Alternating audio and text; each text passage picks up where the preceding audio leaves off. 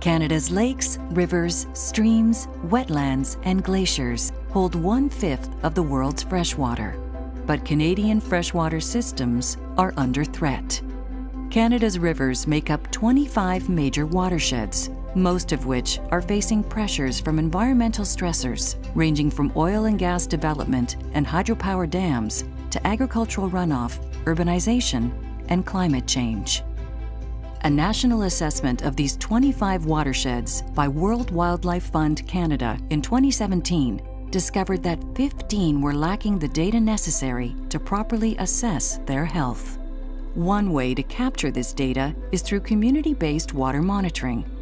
Living Lakes Canada is one of the first NGOs to be certified to deliver field training for the Canadian Aquatic Biomonitoring Network, known as CABIN, the National Aquatic Health Monitoring Program developed by Environment and Climate Change Canada.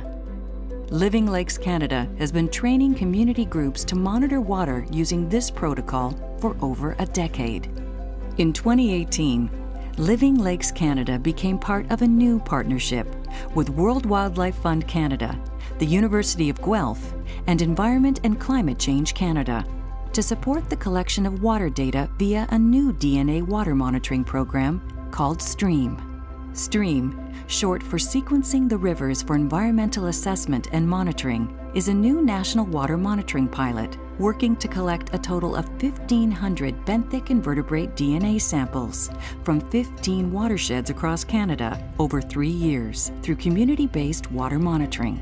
The samples collected by community groups consist of benthic macroinvertebrates, the water bugs found in streams and rivers.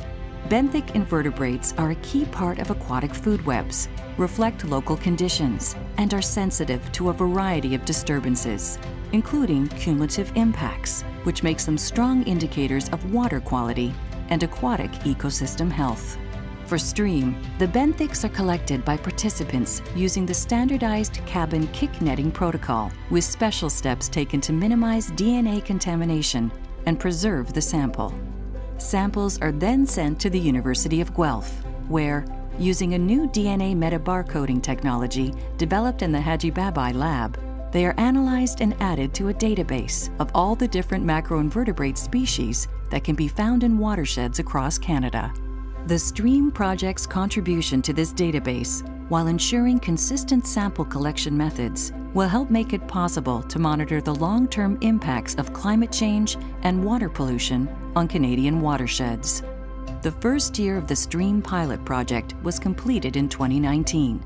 Over 80 participants were trained and over 700 samples were collected in five priority watersheds across Canada, the Columbia Basin, Skeena Basin, and Peace Region in British Columbia, the Bow Valley in Alberta, and the Great Lakes Northern Lake Huron in Ontario.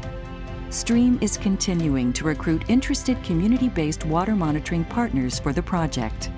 Join partners Living Lakes Canada, World Wildlife Fund Canada, the University of Guelph, and Environment and Climate Change Canada in this water stewardship work across Canada to help protect the water-based ecosystems we all depend on.